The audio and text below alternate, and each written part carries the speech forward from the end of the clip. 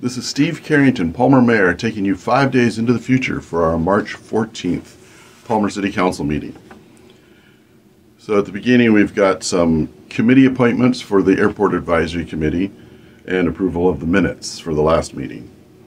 Uh, under communications and appearances, we have uh, Polly-Beth Odom, the Executive Director for Daybreak Incorporated, coming to report on the Palmer Resource Day that we had uh, a month or so ago. And then a proclamation for Sharing and Caring Day with uh, Rabbi Mendy Greenberg. We've also got a public hearing for a resolution for a budget amendment. Essentially, it's a normal budget amendment we do that the money from last year has to be officially incorporated into this year and uh, it keeps everything nice and straight and keeps our finance people happy who keep our auditors happy and that's a good thing. Then we've got a couple of uh, community grant requests um, that the council will discuss and uh, consider and vote on. And then there's a garden services contract. That's for the garden next to our visitor information center. That's kind of our hidden gem in the middle of the city that visitors and residents alike really enjoy. And also for the Palmer Public Library. Uh, we've gotten a report in from, uh, it's the Palmer Public Library Roof Collapse Structural Observation Report, February 28, 2023 from PND. Um, it should be included in, a, in its entirety in the manager's report, which is in this packet.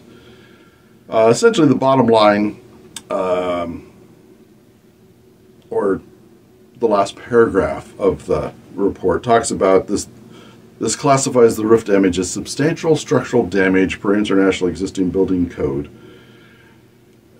and it's always good when those professionals and engineers can go and clarify things with very specific languages, tell us what we kind of already knew. Uh, we're still waiting to hear back on the insurance company and what, what all those matters include.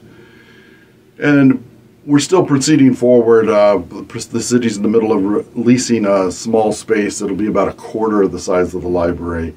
Uh, that'll kind of give us a storefront that we can have for library services, for staff to work out of, that we can have some of our essential services, whether it's computers, checking out of books, um, you know, doing loan transfers from other libraries, etc.